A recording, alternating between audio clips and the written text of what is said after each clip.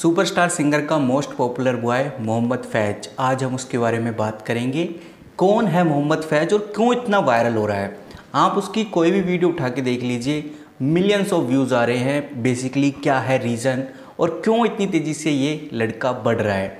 आज उसके बारे में जानेंगे और अगर आपकी स्टोरी इनसे रिलेट होती है, यानी मोहम्मद फैज़ से रिलेट होती है तो फिर आप भी इस सक्सेस तक पहुँच सकते हैं। मोहम्मद फैज़ एक इंडियन सिंगर हैं, ऊपर से सॉन्ग को वो लिखते भी हैं। और अभी recently superstar singer season two के अंदर वो पार्टिसिपेट किए हुए हैं। और इस शो के अंदर जो जजेस हैं, हिमेश रेशमिया, अलका याग्नि और जावेद अली हैं। वैसे तो ये ओरिजिनली जोधपुर, राजस्थान के रहने वाले हैं, लेकिन इनकी जो फ़ैन फॉलोइंग है काफ़ी ज़्यादा बढ़ रही है। इनकी फ़ैन फॉलोइंग पाकिस्तान के अंदर भी काफ़ी ज़्यादा पॉपुलर ये हो रहे हैं। मोहम्मद फैज़ ने 14 साल की एज में ही काफ़ी ज़्यादा मुकाम हासिल कर लिया है। जो बड़े बड़े सिंगर शायद मुश्किल ही कर पाते हैं। सागीर अहमद इनके फादर हैं और इनकी दो सिस्टर हैं जो इनसे बड़ी हैं। इन्होंने अभी तक तीन टीवी सीरियल्स किए हैं, तीनों ही सिंगिंग टीवी सीरियल्स हैं, जिसके अंदर लव मी इंडिया जो कि एन टीवी पे आया करता था और वहीं इन्होंने सारे गामापा लिटिल चैम्प जो कि जी टीवी पे आया करता था और अभी जो लेटेस्ट जो कर रहे हैं सुपरस्टार सिंगर के अंदर ये एज अ कंटेस्टेंट पार्टिसिपेट करे हुए हैं। तो गई वही बोलना चाहूँगा सक्सेस आपको एक दिन में नहीं मिलती, एक रात में नहीं मिलती।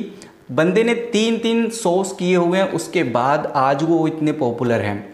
तो अब पहले शो में तो शायद इनको कोई जानता भी नहीं था लम्बी इंडिया के अंदर तो बहुत कम ही लोग जानते थे लेकिन आ, सारे गामा पर लिटिल चैम्प के अंदर इनकी जो और पॉपुलरिटीज़ बढ़ी और सुपरस्टार सिंगर के अंदर अब इनको हर कोई जानने लगा है। इनकी जो फ़ैन फॉलोइंग है धीरे धीरे बढ़ी है।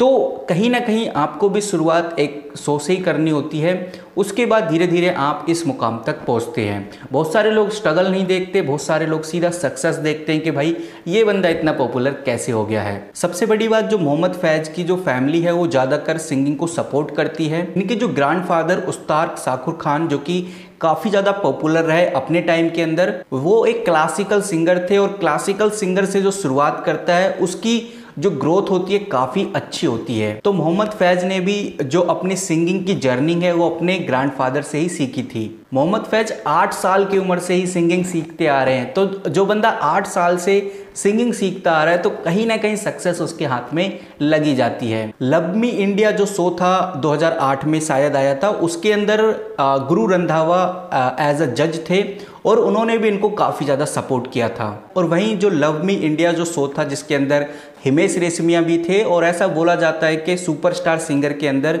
हिमेश रेशमिया ही इनको लेकर आए हैं। और ये उस टाइम लंबी इंडिया के अंदर भी फोर्थ नंबर फोर के अंदर आए थे, यानी टॉप फोर के अंदर इन्होंने अपनी जगह बनाई थी।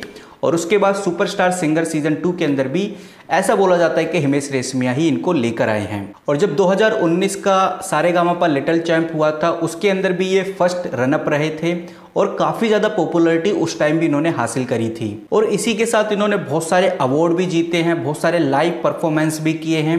तो इन सब चीज़ों को नज़रअंदाज नहीं करना चाहिए एक सक्सेस के पीछे। और फ़िलहाल अभी इनका एक ऑफिशियल यूट्यूब चैनल भी है, जहाँ पर आप इनकी लेटेस्ट वीडियो देख सकते हैं, जहाँ पर ये डालते रहते हैं सिंगिंग करते रहते हैं। और यही है बेसिक स्टोरी मोहम्मद फ्याज को लेकर। बेसिकली इसका जो कंक्लूज़न है, वो यही निकलता है कि जो मोहम्मद फ्याज जो आज इतने पॉपुलर हैं वो अपने गाने के दम पर तो हैं ही। दूसरा इनका जो स्ट्रगल है, जितने इन्होंने सोर्स किए हैं, उनसे इनकी फ़ैन फॉलोइंग काफ़ी बनी है। ऊपर से गुड लुकिंग और पर्सनैलिटी फैक्टर भी आपको नहीं भूलना चाहिए। बहुत सारे लोग जो गुड लुकिंग होते हैं, जो पर्सनैलिटी वाइज अच्छे होते हैं उनको मेजरली लोग याद रखते हैं। बाकी मैं किसी भी तरह का ब्लैक एंड व्हाइट के ऊपर कोई भी कंक्लूजन नहीं दे रहा। मैं आपको बस बता रहा हूँ कि ये चीज़ कहीं ना कहीं लोगों के माइंड में बैठी हुई है। आई होप आपको छोटी सी इन्फॉर्मेशन पसंद आई होगी। आपको पता चला होगा कि बेसिकली मोहम्मद फ्याज आज इतने पॉपुलर क्यों हैं? मिलते हैं किसी नई वीडियो के साथ। तब तक के लिए take care and good bye